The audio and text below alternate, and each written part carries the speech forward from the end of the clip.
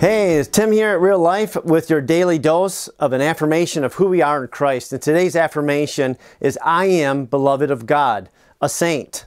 And it comes from Romans 1 7, where Paul says, To all in Rome who are loved by God and called to be his holy people. So holy means to be, you know, set apart, special. And some people would use the word saint.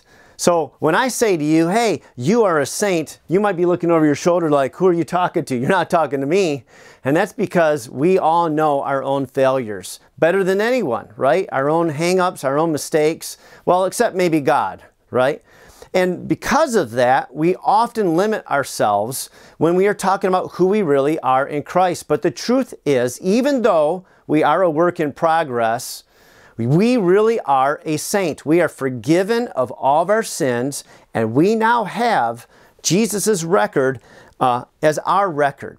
Now, as a coach, I've coached for many years in the past, and as a coach, one of the things that I've had to do with my athletes is try to convince them of someone that they are, even though they haven't done it yet. And I remember this, I got this baton in my office here of a school record of a 4 by 800 meter team of, of guys that I coach that set the school record. And I remember working with these guys for years before they really believed in themselves. And once they believed in who they were on the inside, it came up to the outside. And I think it's a lot similar to our faith in Christ.